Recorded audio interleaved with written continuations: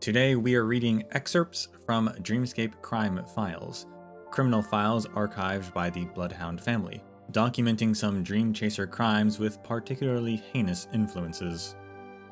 This file documents individuals who have caused significant social harm and posed a serious threat to the security of the Dreamscape. Following a verdict, the Bloodhound family will archive this file. Name Domanda.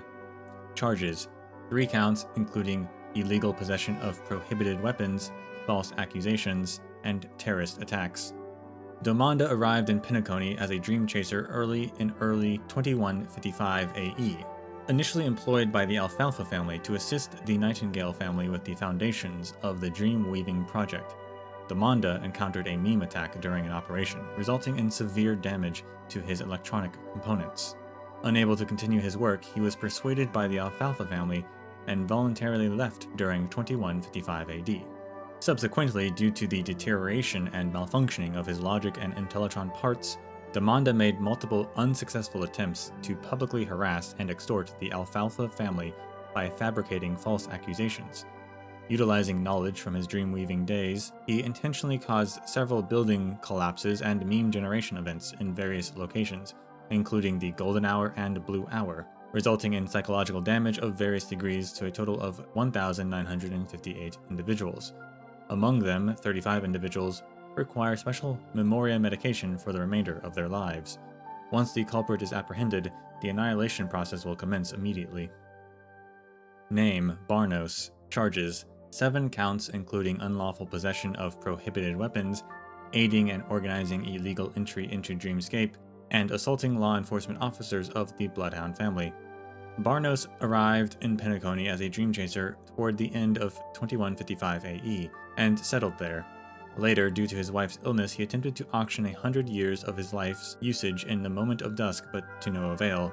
Subsequently, he engaged in a fight with a Pepeshi merchant who won the auction for lifetime in an unsuccessful attempt to snatch the auctioned item. As a result, Barnos was expelled and developed antisocial ideation. Between late 2155 AE and early 2156 AE, Barnos repeatedly assisted stowaways in exchange for large sums of money.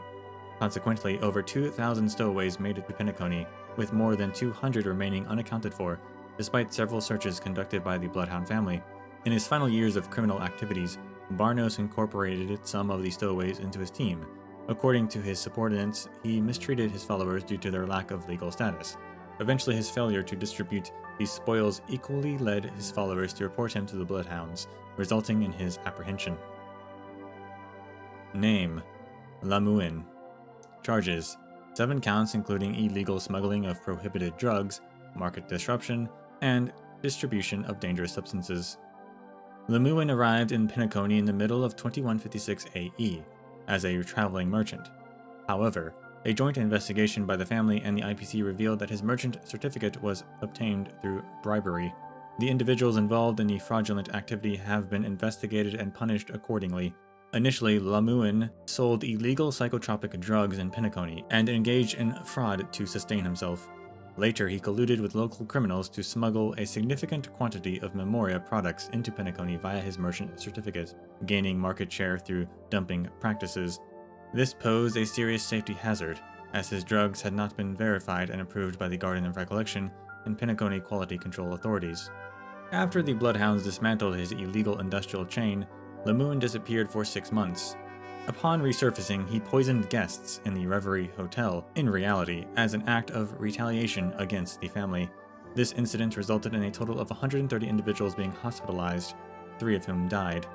Subsequently, the Bloodhounds conducted a thorough search, Lemuin ingested poison in a bathroom in the hotel, committing suicide.